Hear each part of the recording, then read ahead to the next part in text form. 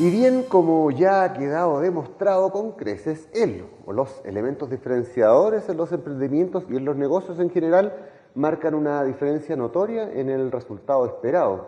Pero ¿cómo lograr este elemento diferenciador? ¿Será la innovación la respuesta y será la única?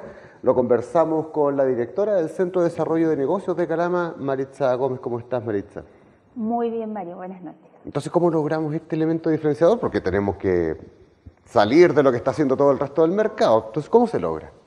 Yo creo que lo que define es la innovación, pero esa innovación no solamente definía el término de estudio, de análisis, uno habla de innovación, se imagina un laboratorio, estudiando, haciendo análisis, y que también de ahí nacen nuevos productos.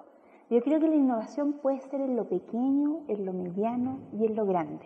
O sea, la empresa tiene que buscar este valor agregado que hace distinto a los demás.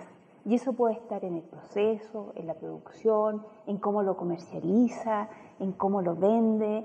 Pueden haber distintas áreas o unir estos elementos para yo diferenciarme de lo que está haciendo alguien parecido a mí. Que eso yo sí le aseguro que siempre hay alguien haciendo algo parecido a lo que yo quiero emprender. Entonces, la forma más básica podría ser incluso hasta la forma de cómo recibo, cómo atiendo a la gente al momento de entrar a mi negocio? Sin duda. Yo el otro día conversaba con un cliente y me decía, ¿sabes que mucha de la gente, yo tengo una panadería y mucha de la gente en la panadería me dice que él prefiere caminar un poco más, pero siente que yo lo atiendo mejor, porque mi precio de pan es igual que el precio del pan de la panadería que está dos cuadras más allá, pero como yo atiendo mejor, ellos me prefieren. Y ese es un elemento súper simple que lo diferencia de una competencia súper cercana que él tiene. Convengamos que en Calama existe una gran cantidad de negocios, de emprendimientos y, negocios ya establecidos. Eh, y muchos de ellos hacen lo mismo. Por ejemplo, eh, no se me ocurre algo menos eh, novedoso que instalarse con una peluquería en el centro, por ejemplo. Pero una peluquería en el centro, porque hay montones, podría ser la forma de atender incluso las personas que atienden ese elemento diferenciador. Sin duda podría ser un elemento diferenciador. O las habilidades, las competencias que tiene el personal con el que yo trabajo podría diferenciarme de otro, aun cuando yo tenga mi competencia al lado. Yo siempre digo, la, la estrategia para diferenciarme tiene que estar dado, ¿cómo hago y atraigo un mercado nuevo de clientes? Porque si yo hago lo mismo que está haciendo mi, digamos, mi competencia, lo más probable es que si teníamos 100 clientes, nos dividamos estos 100 clientes entre los que vemos. Pero si yo soy capaz de hacer algo distinto, traigo nuevos clientes. Entonces no me reparto la torta, agrando la torta. Entonces, en la medida que yo me diferencio y, desarrollo un producto que solucione una necesidad que el cliente tiene y que el día está insatisfecha, yo hago que la, torta crezca. Y yo creo que hoy día, para nuestros emprendedores y para nuestros empresarios, eh, ese es el desafío. ¿Cómo hacemos crecer esta torta y no nos repartimos la que hay? Ahora, esta, eh, este elemento diferenciador basado en la innovación, ¿es la única forma o hay más? Yo creo que hoy día, sin duda, el, el concepto de innovación lo abarca todo. Pero yo diría que la innovación no tiene que ser solo pensado como un gran descubrimiento o como un cambio profundo. Y hoy día nadie va a descubrir la rueda otra vez, digamos. Descubrimientos grandes son pocos los que se dan. La innovación también va en el tema interno. Cómo yo modifico a lo mejor mis procesos. Cómo hago que mi proceso que tiene un costo hoy día, yo lo hago más barato y eso me hace ser distinto al resto. ¿Cómo incorporo estos elementos que lo hemos hablado en nuestros programas de, del Internet, de las redes sociales? ¿Cómo atraigo eso a mi negocio y lo incorporo y nuevo va a ir llegando a otros mercados que hoy día no llego? Eh, yo creo que sí, la palabra es innovación, pero hay que darse que la innovación no solo es descubrir cosas ni grandes cosas, la innovación también está en lo pequeño. ¿Cuál es la recomendación para los emprendedores, para los empresarios, para lograr este elemento diferenciador basado en innovar?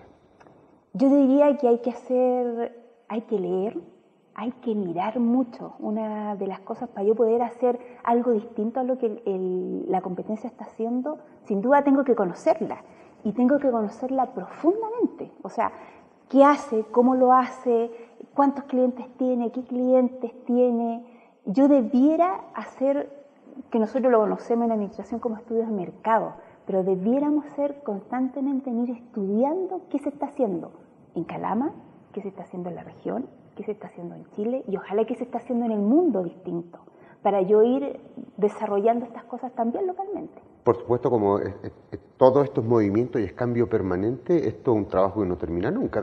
Permanentemente también hay que estar actualizándose y ver qué está haciendo los demás para yo poder hacer las mejoras, ¿no? Sin duda es una mejora continua, es un proceso que no se termina ni se corta nunca. Y de hecho la experiencia también dice que aquellas empresas que son capaces de ir mirando lo que va a pasar de aquí a dos o tres años y adelantarme, tienen mayores beneficios que aquellos que se quedan haciendo siempre lo mismo. ¿Y qué se requiere para, para tener esa visión tan hacia adelante? Porque la mayoría de los emprendedores están eh, situados en su hoy, en, sus problemas cotidianos, en el quehacer diario, porque eso es lo que los mantiene funcionando. Pero ¿cómo se desvinculan un poco de ese quehacer diario y proyectarse hacia adelante con tanta antelación como cinco años? Yo diría que ahí hay que hacer una definición de roles. O sea, entender que el estar mirando el mercado, creando cosas nuevas, desarrollando nuevos productos, nuevos servicios, necesariamente es parte del negocio.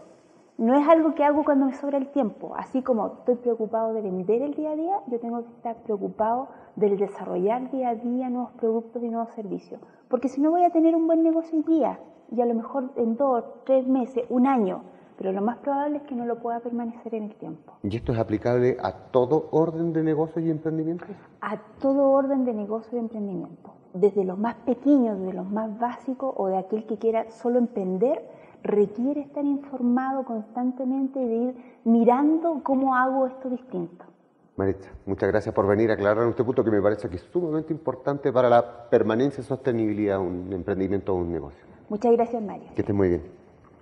Le invitamos a una pausa y continuamos revisando más informaciones aquí en Calamanota.